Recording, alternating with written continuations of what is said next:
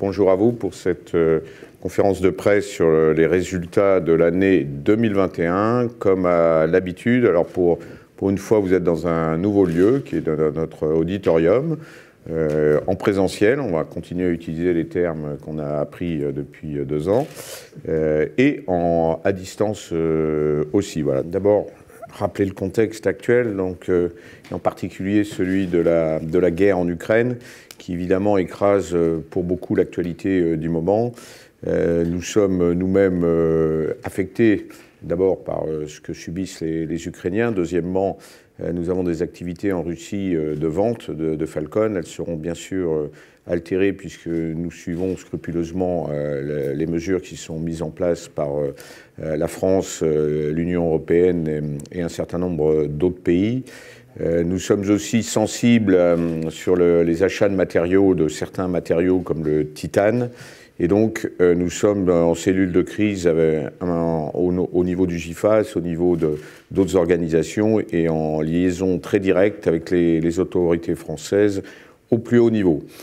on pourra en reparler un petit peu après si vous le souhaitez. La, crise sanitaire semble être un petit peu derrière nous, puisque vous avez vu l'annonce de, de ne plus porter le masque à partir euh, du je sais plus combien, 14 mars, je crois, ce qui est traduit euh, dans d'autres pays aussi déjà, va, va, nous permettre un petit peu de euh, re-respirer normalement. malgré tout, ce que je voulais dire, c'est qu'en 2021, la reprise a été forte. Si on se compare en particulier à 2020. C'est un petit peu plus euh, contrasté quand on se compare à 2019, et je parle d'un point de vue général.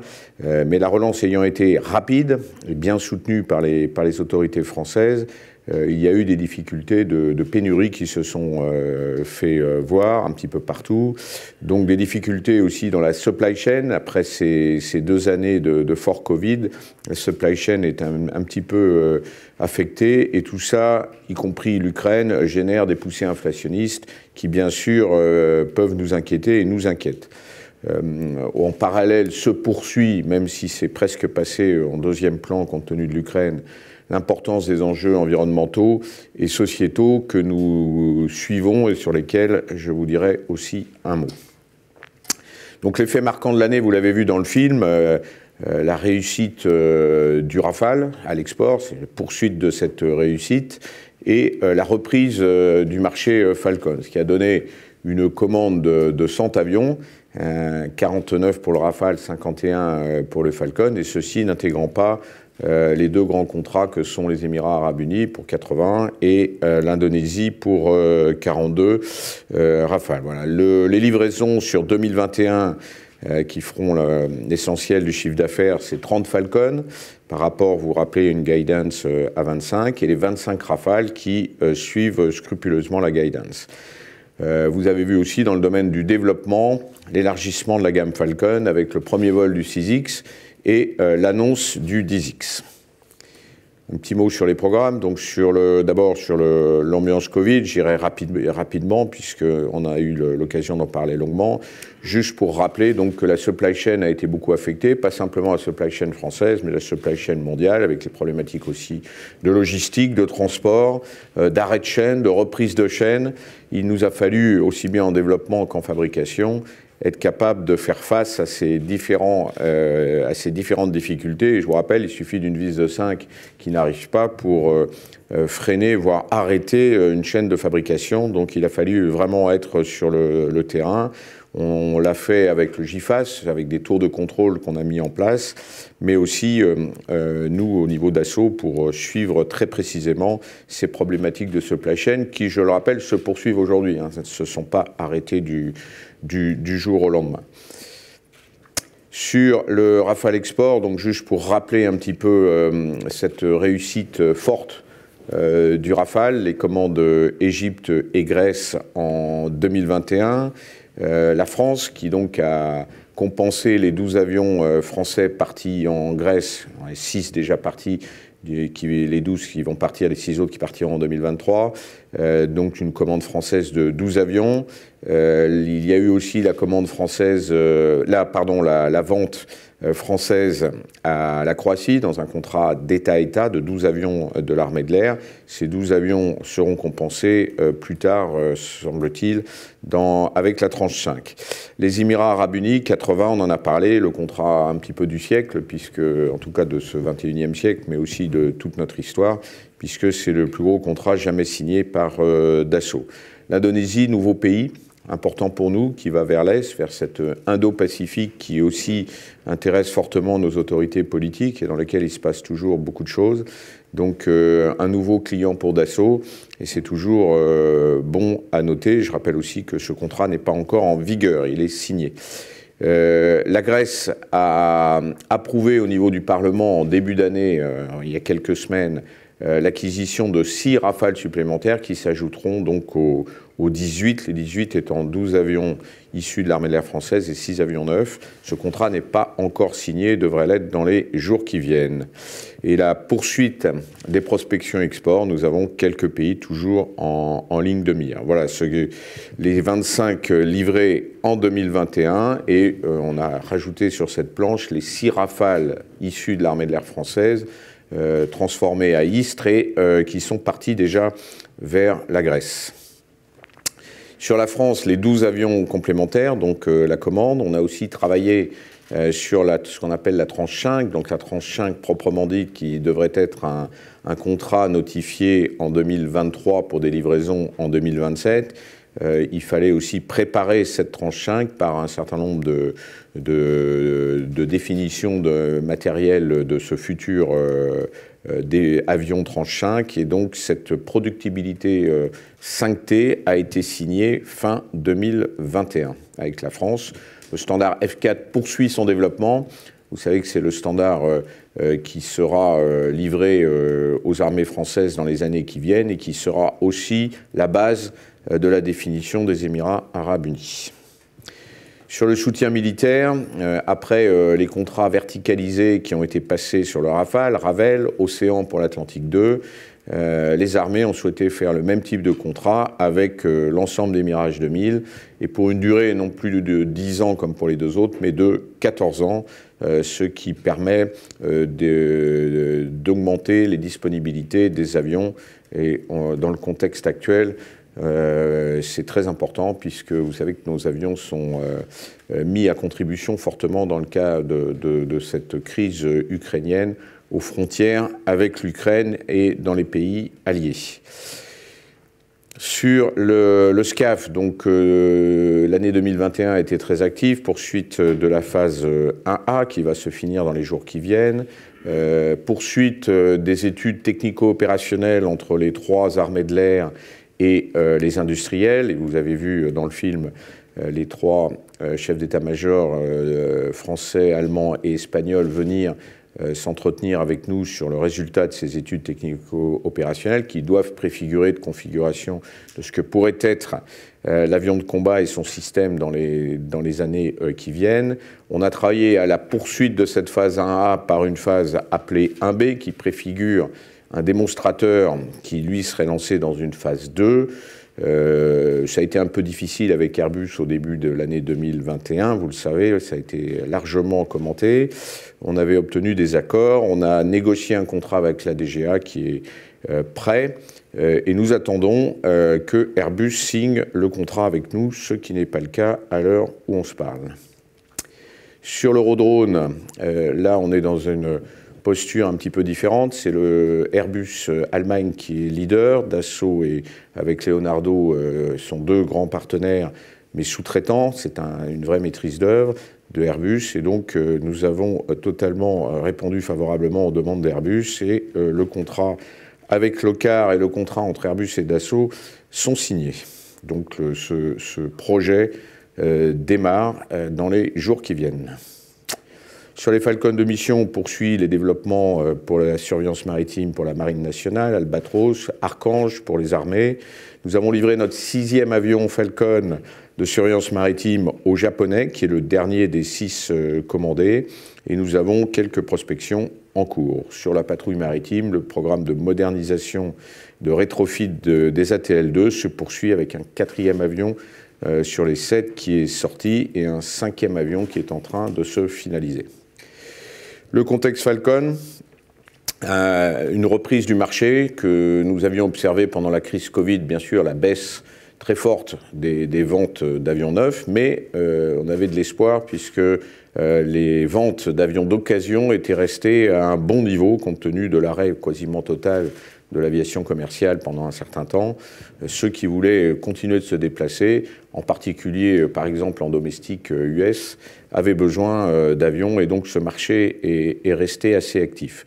À partir de 2021, début 2021, euh, les acheteurs sont revenus vers nous et euh, les projets qui avaient été décalés sont revenus euh, au-dessus de la pile et on a recommencé à vendre. Le marché est très actif. On bénéficie, quant à nous, de l'arrivée, bien sûr, de ces deux nouveaux avions que sont le 6X dont on fait tout pour arriver à la fin de l'année. C'est pas facile, je dois vous le dire, parce que les problèmes de supply chain sont, sont, toujours là. Et le 10X qui doit entrer en service à la toute fin 2025. Donc ça, ça a dopé aussi la relation qu'on peut avoir avec nos acheteurs potentiels. Bien sûr, je mets un bémol sur les ventes à la Russie, puisque toutes ces ventes euh, vont s'arrêter, les ventes potentielles, et les ventes déjà faites vont se geler. Sur le 6X, euh, tout se passe bien. 167 euh, vols, 523 heures de vol à la fin 2021. Excellent comportement de, l'avion en vol euh, durant ses essais, non seulement ses essais en vol, mais ses essais de certification, car vous savez que la certification est en cours. Les performances sont tout à fait conformes à ce qu'on en attendait. Et donc pour nous, c'est tout à fait bénéfique ce programme et pour son arrivée à la, fin de l'année. On en profite pour utiliser des SAF, mais ce n'est pas simplement sur le 6 c'est sur l'ensemble euh, de, la, gamme euh, quand on peut. Euh, la difficulté étant de pouvoir en avoir. Alors pour quelques vols, on peut en avoir facilement. Après, ce n'est pas toujours facile de pouvoir en avoir tout autour du monde. Les avions numéro 4 et 5 sont en cours de, completion. Vous avez vu l'arrivée d'un avion à Little Rock dans le film. Euh, donc euh, une transatlantique, la campagne temps froid qui s'est bien déroulée, et nous préparons euh, un tour du monde aussi avec le CISIX qui aura lieu dans cette première moitié de l'année pour être capable de vérifier en opération cet avion et ça sera l'occasion bien sûr de le montrer tout au long des escales qu'il fera. Le 10X, le lancement mondial, j'y reviendrai pas, on en a beaucoup parlé. Donc avion 7500 nautiques, les deux moteurs Rolls-Royce et euh, nouvelle génération de cockpit et un certain nombre de nouvelles technologies. C'est surtout centré sur la cabine la plus large du marché, donc la plus spacieuse, qui permet euh, de passer de manière très agréable et de manière très opérationnelle en continuant à travailler ou à bien dormir euh, sur ces vols qui sont des vols très longs. Sur euh, l'éco-responsabilité, on travaille sur les technologies qui nous permettront de poursuivre les améliorations euh, de réduction d'empreinte carbone euh, pour nos futurs avions. Donc on contribue et on participe à un certain nombre de programmes. Le CORAC en France, avec, avec nos partenaires du, du, GIFAS, euh, c'est l'État euh, qui, finance en partie un certain nombre de, ces développements. Nous, on travaille beaucoup sur, les, matériaux, sur les architectures de, systèmes, euh, sur les, réductions d'empreintes par des optimisations de, plans de vol, etc. Nous travaillons aussi dans le cadre de l'Europe avec Clean Sky, avec aussi un certain nombre de programmes, et César pour le l'optimisation du, trafic aérien. Voilà, ceci euh, est pour préparer les générations futures d'avions. Donc voici la gamme du 2000 jusqu'au 10X qui paraît bien complète, ce qui euh, est une bonne chose pour la vente de, nos Falcon dans, le futur. Euh, le support, on a toujours persévéré à améliorer notre support, donc on a une nouvelle fois gagné la bataille. Je rappelle, AIN est un, est un média américain qui reconnaît donc le Falcon, les Falcons comme étant euh, bien soutenus de par le monde, de l'avis de, de ses clients. Euh, on a même amélioré nos notes au classement général, puisque c'est noté, noté, sur tout un tas de sujets dans lesquels nous sommes souvent premiers. Euh, et au classement général, on arrive largement en tête et avec une amélioration de la note par rapport à l'année dernière. Donc On va poursuivre ces efforts. on a pu s'appuyer aussi sur notre réseau de stations-service que nous continuons d'étoffer, qui malheureusement a été un petit peu à l'arrêt pendant ces deux ans de, Covid, mais qui reprend, qui reprend de l'activité avec la reprise plus forte des vols depuis début 2021. Sur le plan de transformation, vous avez vu quelques éléments. Euh, vous a tenu au courant au fur et à mesure. Donc non seulement il y a toute l'infrastructure qui permet de préparer le futur, mais aussi le travail toujours euh, sur les process à partir des nouveaux outils numériques, principalement de Dassault Systèmes, mais pas exclusivement, puisqu'on généralise euh, SAP aussi sur un certain nombre de sujets. Vrai, la vraie ambition pour nous, c'est de bien maîtriser nos données euh, et de les protéger du reste. Euh, et c'est ça la clé de cette euh, responsabilité sociale et environnementale, je ne vous ferai pas le, je ne lirai pas la planche, vous pourrez la lire, mais sachez qu'on travaille beaucoup dans un certain nombre de domaines. De toutes les manières, les, contraintes venant d'Europe par le Fit for 55 et par la France avec la stratégie bar carbone, avec toutes les problématiques de taxonomie, les nouvelles lois, climat et résilience, euh, nous oblige bien sûr à améliorer et à renforcer l'ensemble des, process qui nous permettent de répondre euh, complètement à ces exigences qui euh, arrivent. Il y, en a, il y en a beaucoup, croyez-moi, c'est un gros travail et ça coûte. Sur l'éco-responsabilité, on continue aussi à essayer de consommer moins. donc on vous a mis, ça doit être la première fois qu'on vous présente ça, une évolution entre 2021 et 2019. Alors certes, il y a eu le Covid au milieu. Enfin, le Covid a généré par exemple qu'il fallait faire plus d'aération euh, euh, pulsée, donc on a consommé un tout petit peu plus de gaz, vous le voyez, mais le reste, euh, nous allons vers une diminution d'un certain nombre de consommations conformément à, ce que l'on souhaite faire en interne pour accompagner cette transition énergétique. Et je rappelle dans les standards euh, la norme REACH, qui est une norme très exigeante et qui nous oblige à changer un certain nombre d'approvisionnements. Et euh, changer des approvisionnements, c'est pas simplement euh, changer une nomenclature dans un, dans, des achats, c'est aussi la capacité de recertifier cette matière et de recertifier toute la chaîne pour essayer de bien vérifier qu'on a les mêmes performances avec le nouveau matériel par rapport à l'ancien. Donc ce sont des efforts assez importants qui sont faits depuis des années pour être conformes à cette norme. Les résultats proprement dit, je vais aller vite pour qu'on puisse donner du temps aux questions. Donc prise de commande 2021, 51 Falcon, 49 Rafales. Dans les Rafales, 37 à, l'export et 12 à la France. Euh, par rapport aux 15 Falcon de 2020, bien sûr, c'est un élément, euh, je ne dirais pas un book-to-bill supérieur à 1, parce que c'est largement supérieur à 1 par rapport au chiffre d'affaires, mais c'est surtout euh, ouf, une reprise forte des commandes qui n'était pas arrivée en 2020, pour la raison que vous connaissez, qui est le Covid. Sur les livraisons, donc 30 euh, Falcon par rapport aux 34, on a l'effet bien sûr Covid, on a moins commandé donc on livre moins. Sur le Rafale, conformément les contrats export, zéro livraison France à nouveau euh, en, 2021, et je le précise tout de suite, c'est pas pour favoriser l'export, c'est parce que la planification française de la loi de programmation militaire a demandé à décaler euh, les livraisons euh, d'avions françaises pendant 4-5 ans. Et ceci, donc, est, vous le verrez évidemment dans le chiffre d'affaires, augmente fortement le chiffre d'affaires par rapport aux 13 rafales livrées en 2020. Donc un carnet de commandes qui s'est largement étoffé avec 86 euh, avions, 46 Rafales et 40 euh, Falcon. Sur les, chiffres proprement dit, donc une prise de commande à 12,1 milliards d'euros pour 2021, euh, avec la répartition que, vous avez sous les yeux, 6,2 milliards pour euh, la défense export, 3 euh, milliards pour la défense France et 2,9 milliards pour les Falcons. Sur le chiffre d'affaires, donc euh, les livraisons 7,2 milliards, la répartition est donc de 4,5 milliards pour le, Rafale à l'export, 2 milliards pour le Falcon et 0,7 700 millions pour, la France. Sur le carnet de commandes donc consolidé, donc on a un carnet à 20,8 milliards, donc un carnet euh, bien garni, euh, réparti avec quasiment 10 milliards, 9,9 milliards pour le Rafale à l'exportation. Et je reprécise que dans ce carnet de commandes, il n'y a ni les Émirats pour 80 avions, ni l'Indonésie, ni les 6 avions supplémentaires pour la Grèce qu'on devrait signer.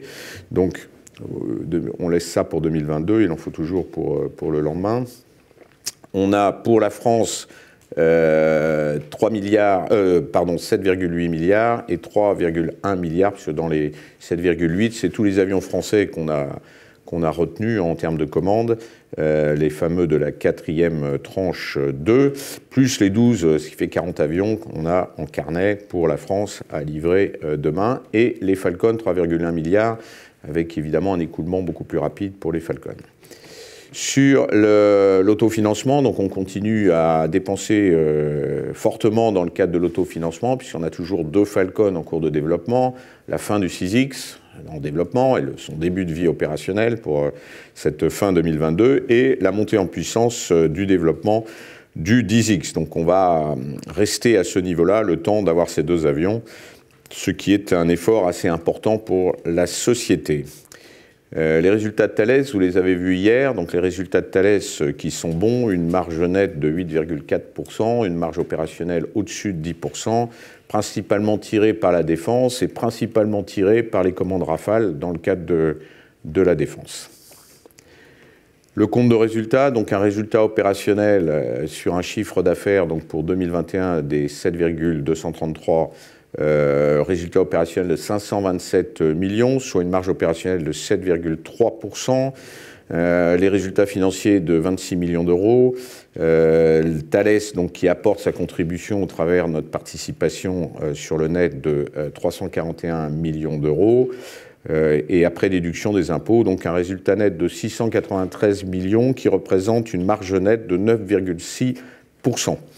Euh, je rappelle après le, résultat de la, RD qui est à 7,6% l'autofinancement, qui évidemment est un peu plus faible que l'année dernière puisque le chiffre d'affaires est plus élevé. Et ça fait donc un résultat par action de 8,3 euros à comparer au résultat de l'année dernière de 4,8 euros.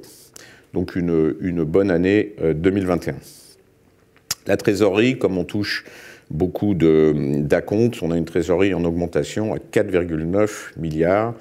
Euh, ce qui est une bonne chose.